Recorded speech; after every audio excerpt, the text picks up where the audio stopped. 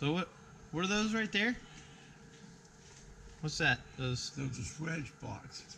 swedge blocks? Swedge blocks. All right. So if you uh, took a, a lead pipe was sold during the Second World War, when pipe was hard to find, they made a lot of pipe and water pipe as well as sewer pipe out of lead, and these little, just little five foot joints.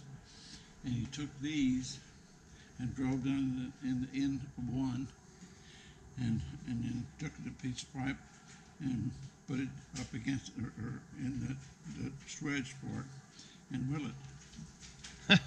Nice.